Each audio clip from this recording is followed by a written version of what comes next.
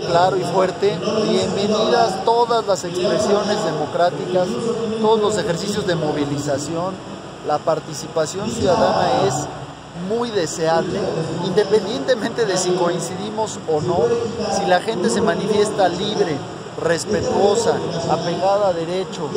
eh, en el uso de su libertad, aun cuando no coincidamos con ellos, nosotros lo vamos a celebrar,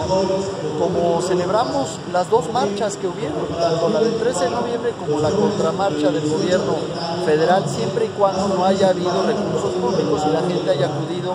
pues bajo su propia voluntad. Lo que hoy vemos es un esfuerzo ciudadano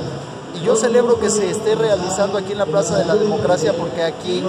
hace 112 años en ese balcón vino también Francisco Madero a hablar de democracia a los poblanos, a combatir el autoritarismo, a pugnar por elecciones libres.